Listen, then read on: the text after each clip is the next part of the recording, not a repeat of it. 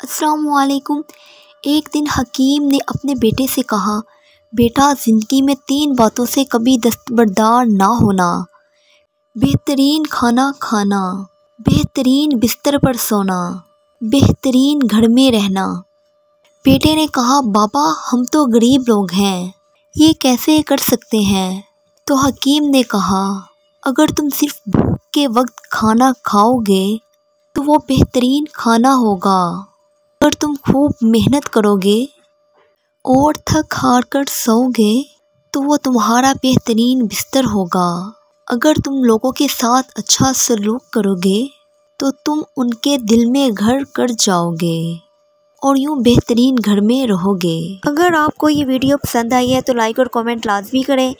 मज़ीद इस्लामी वाक़ात की वीडियोस देखने के लिए मेरा यूट्यूब चैनल सब्सक्राइब करें और बेल आइकन लाजमी प्रेस कर दें, ताकि आने वाली हर नई वीडियो आप तक जल्दी पहुँच सके। शुक्रिया।